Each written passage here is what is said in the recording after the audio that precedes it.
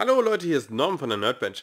Ihr habt nun einen Android-USB-Stick und möchtet ihn bequem von der Couch aus ausschalten? Das Problem hatten die Nerdbencher auch. Wir haben uns umgesehen und die Mili F10 geholt. Die Mili F10 hat auf der einen Seite eine Tastatur und verfügt auf der anderen Seite beim Mausklick-Button einen Zurück- und Home-Button. Mit der EDF 10 kann man herumsteuern. Damit bin ich ein bisschen ungeschickt, aber es funktioniert eigentlich ganz gut. Die Mili F10 wird mit einem doch sehr großgeradenen Dongle angeschlossen den erkennt Android als auch Windows sofort und man kann direkt anfangen zu arbeiten. Die Tasten fühlen sich sehr schön an, also sie haben einen sehr guten Druckpunkt. Störend finden wir, dass wir Sonderzeichen wie das Ausrufezeichen nur über FN-Tasten erreichen. Beides muss gleichzeitig gedrückt werden. Die Mili F10 liegt genau richtig in der Hand, um damit zu navigieren und zu tippen. Damit macht auch dann das Würfeln bei Mensch ärger dich nicht richtig Spaß. Wenn ihr noch Fragen zur Mili F10 habt, rein damit in die Kommentare